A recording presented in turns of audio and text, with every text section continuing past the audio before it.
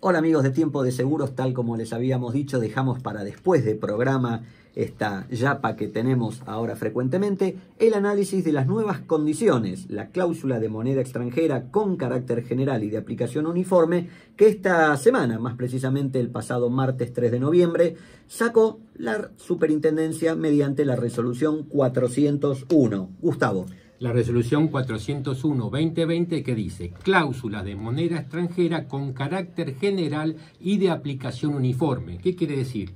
La superintendencia observó que había numerosas cláusulas de, moneda extranjera en el mercado y las sustituye todas esas por tres cláusulas específicas.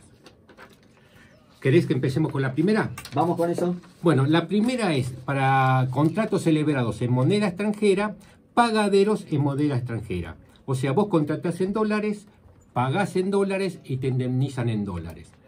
¿Qué salvedad hace esta, esta, cláusula, esta resolución? ¿Qué salvedad hace al respecto? Sin perjuicio, si por disposición normativa se prohibiera o restringiera el acceso al mercado de cambio, las obligaciones se convertirán a moneda de curso legal de acuerdo a cotización del tipo de cambio mayorista o minorista, el que se elija, vendedor del Banco Nación Argentina del día hábil anterior a la fecha de pago de la obligación.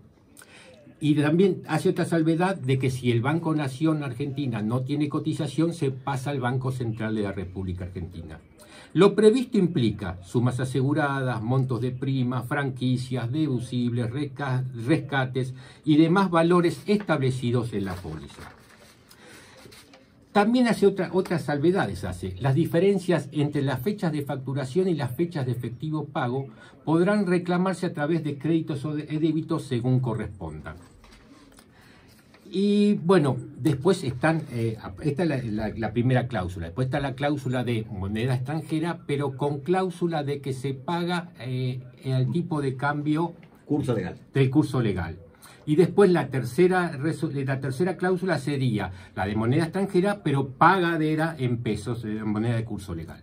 Con las salvedades que dijimos, ¿no es cierto? Bien, para resumir un poco, primero a, a, los lectores y oyentes pueden ver la noticia publicada en nuestro portal, donde pueden descargar no solo la resolución, sino que cada una de las tres cláusulas actuales. Queda claro, lo dice la resolución, que caen todas las otras cláusulas vigentes. Es decir, a partir de la renovación o un seguro nuevo, indefectiblemente va a tener que utilizarse alguna de estas cláusulas. De hecho, dice la resolución que si estaba algún eh, plan que se había pedido autorizar en curso de autorización ante la super, lo que va a tener que hacer la compañía es optar por una de estas tres.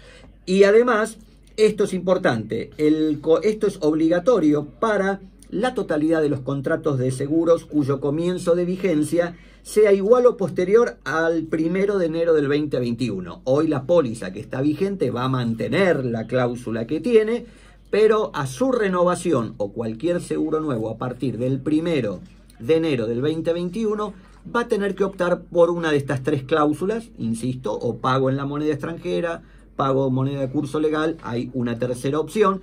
Y de nuevo, moneda extranjera, no es solamente dólares, pueden ser euros, puede ser alguna otra que se haya pactado por alguna particularidad de la mercadería o el origen de la mercadería asegurada, así que esto es lo que estableció el mercado. No alcanza grandes riesgos, es un caso especial porque aquellos grandes riesgos que tienen determinadas condicionantes, sobre todo con el tema de pago, están excluidos. Supongamos el seguro integral petrolero de IPF, por, por decir a qué se refiere con grandes riesgos. ¿sí? Con lo cual el productor de seguros deberá hablar con su asegurado, explicitarle cuáles son las tres modalidades elegir una y comunicárselo con tiempo a la compañía. Sí, tal cual. Eh, particularmente tengo un caso para marzo de un todo riesgo, todo en dólares, donde, bueno, otro temita que nos queda para futuro es ver hasta qué punto y qué está pasando a nivel de la economía con esto de si mantener el seguro en dólares es lo mejor o no en este momento. Tema para próxima emisión.